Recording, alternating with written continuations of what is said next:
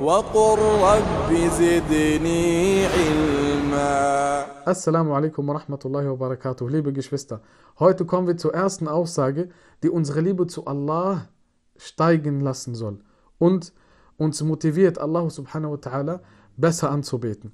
Ibn al-Qayyim sagt in seinem Buch Madarijus Salikin folgendes: إذا غرست شجرة المحبة في القلب وسقيت بماء الإخلاص ومتابعة الحبيب أثمرت أنواع الثمار. Das heißt, wenn der Baum der Liebe ins Herz eingepflanzt wird und bewässert wird durch das Wasser der Aufrichtigkeit und der Befolgung des geliebten Allah, so wird dieser Baum die verschiedensten Früchte hervorbringen.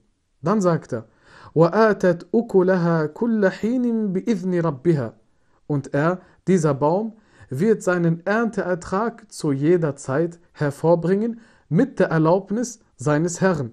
Dann sagt er, Asluha thabitum fi qarari al-qalb.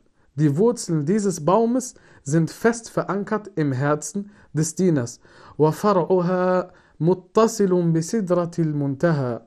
Und er sagt, und die Zweige erreichen den Sidrbaum, der über dem siebten Himmel sich befindet. Dann sagt er, لا يزال سعي المحب صاعدا إلى حبيبه لا يحجبه دونه شيء. Das heißt, die Bemühungen desjenigen, der Allah liebt, steigen mehr und mehr. Seine Bemühungen steigen immer mehr und mehr zu seinem Geliebten. لا يحجبه دونه شيء. Nichts kann ihn davon abhalten. Dann erwähnt er einen schönen Vers in Surah Fatir, der Erschaffer, Surah 35, Vers 10. Allah subhanahu wa ta'ala sagt, إليه يصعد الكلم الطيب والعمل الصالح يرفعه.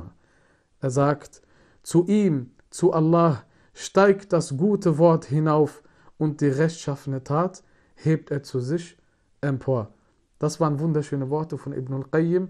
Ich sage diese Worte, Walhamdulillahi Rabbil Alamin.